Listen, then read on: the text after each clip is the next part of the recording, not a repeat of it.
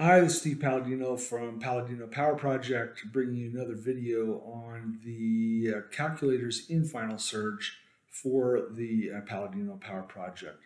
Um, it, eh, this one will be on the uh, the CP calculator from a CP test, or at least two test components. Um, once again, you'll be in beta mode on your calendar screen in Final Surge and you simply come over here, select the calculators icon, and you'll have various calculators. Click on the Palladino tab, and you want to scroll down to this one. So if you have done a CP test or you've recently done two test components within a one week period, let's say you've done a two minute and a 10 minute test in a, within a one week period, you can pop that in here as well, that data. Um, the instructions uh, ask that the shorter test domain is two to three minutes, and the longer test should be at least 10 minutes up to 20 minutes. Um, once you start going below 10 minutes on the long test, um, it is it usually results in an overestimated um, CP FTP figure. I actually think 10 minutes is is marginally the lowest. Uh, however, it is uh, used as a default in my plans just because the plans are um, targeted for a very broad audience, and I can't know their their tolerance for doing a 12 minute or a 15 minute uh, long component test. So, um, it as long as it's in that two to three minute or 10 to 20 minute range, uh, the two test components, then you're you're fine. Um, and as long as they're done within one week, and I, again, all my CP tests um, are are single day CP tests uh, with at least 30 minutes in between the two test components.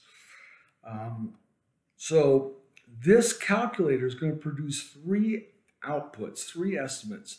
It's going to produce the CP FTP estimate. It's going to produce a reserve work capacity, RWC is reserve work capacity. It's going to produce an estimate of RWC, and it's going to produce a, a very rough approximation of power at VO2 max. Now, keep in mind, there is no single power at VO2 max. Um, there are multiple powers that power duration combinations that will access VO2 max. Um, consider this one uh, perhaps on the shorter duration side and higher power side of the range of, of power durations that can access VO2 max.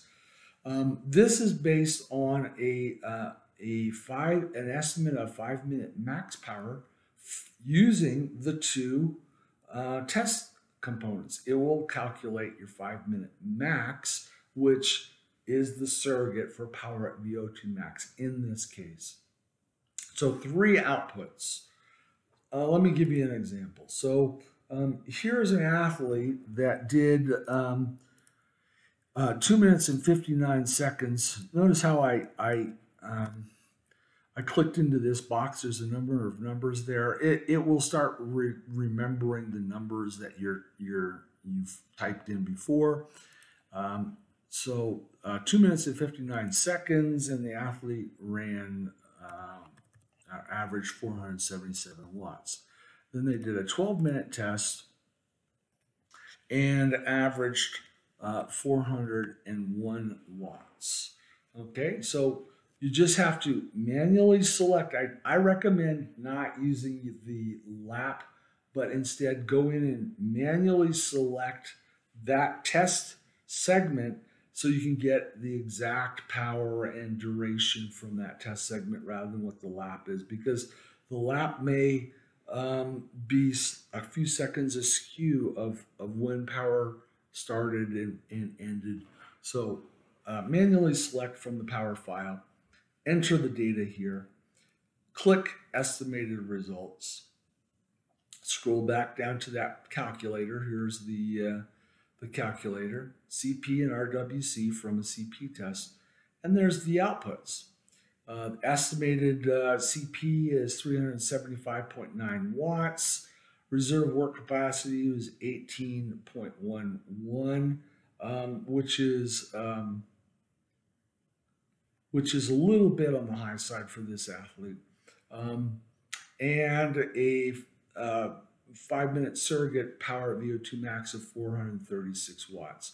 Um, and by the way, this this is at a, about 86% uh, of CP. This this power VO2 max, or I'm I'm sorry, other way around. The CP is about 86% of power VO2 max, which is which is not atypical uh, for runners. It would be rather high for a cyclist, but for a runner, it's it's uh, it's uh, more uh, it's it's more in line with what's been reported for runners.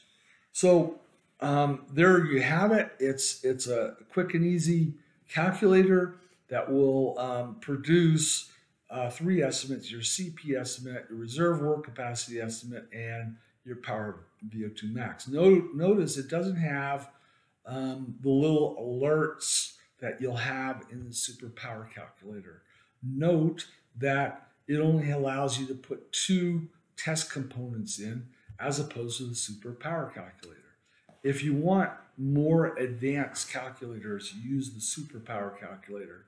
But for the for the majority of, of testing, particularly the ones that are in my plans, this this particular calculator will work quite well for uh, following CP tests.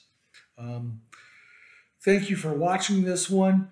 Um, I'll put a, a, couple links in the uh, notes for this uh, uh, uh this video, and we'll hopefully we'll see you on the next one when I discuss the next few couple of calculators. Thank you. Thank you for watching. Bye bye.